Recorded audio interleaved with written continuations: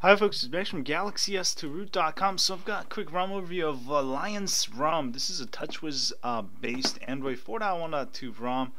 I got running both on my Galaxy S2 GTI 9100 international version and also AT&T SGHI 777. Uh, let me just grab uh, one of them. They're pretty pretty much identical ROMs.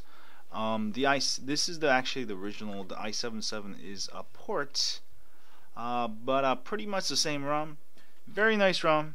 Um, I did an overview of this ROM when it was ICS. Now it's back, uh, better than ever, with the latest Jelly Bean here. Um, there we go, Android 4.1.2.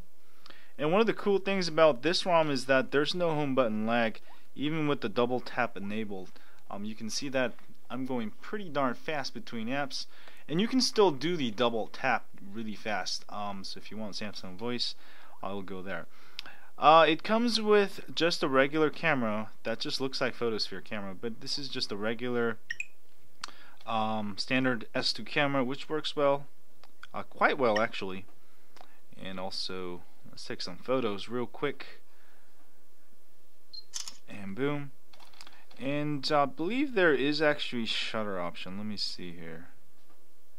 No, there's no shutter options for this one. Um, but very nice. If you want to enable multi-view, since um, the back button on this one, if you hold it down, it will force close any apps you're running. So if you hold it down while you're running browser, it will close it uh, for quick access. You have to go to settings and uh, display here, and you'll have to enable disable multi-window, enable it once, and then you'll be able to see the multi-view. And the tab kind of stays on forever. Um, you know, it's not too bad since it's also transparent tab, but it is enabled for all apps. Um, so you can go grab your favorite apps and uh, multitask all you want all day long. And I didn't sign into my Gmail, so it's asking actually asking me. Uh, but working very well. Some of the other ROMs I've tested this week, uh, you know, it's supposed to work. The the multi-view is supposed to work. It doesn't work. So I was going to review some of those ROMs and then I was like, uh-oh, it's not working. Um, settings, you'll find Alliance Control. Um, the only thing really you have to worry about is custom settings here. Uh, where you can customize a bunch of stuff. You can get up to one, two, three, four, five different lock screens there. Um, there you go. Let me just show you one of them. Um, Jelly Bean there, so you can change your lock screen easily there. And also if you want ink effect you'll have to choose the Galaxy S3 Ripple. And let's choose a color some bright. And also make sure the alpha goes up because that's the actual color. If the alpha is down here it's actually not going to show. So um, there we go. And boom. Uh, we got ink effect there.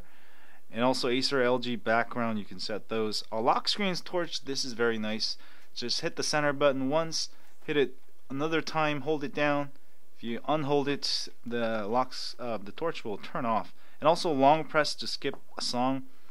Um, if you want to do a long press uh, with the volume you can skip songs while your phone is off. No while it's in uh, lock screen. And uh, also phone mods here. You can auto record calls incoming or outgoing. Very nice uh, for spies and people work in that kind of field that need it.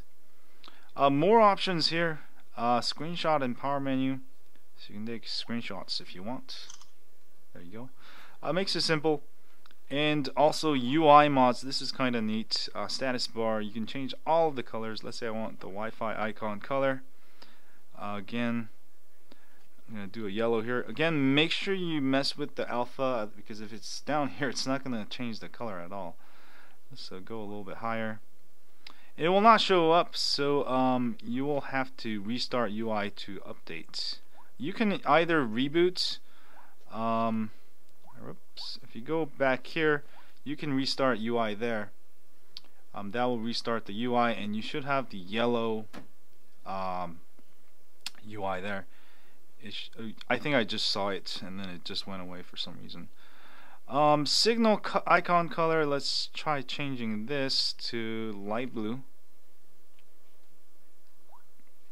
And actually, this one you don't have to restart the UI, it's just working.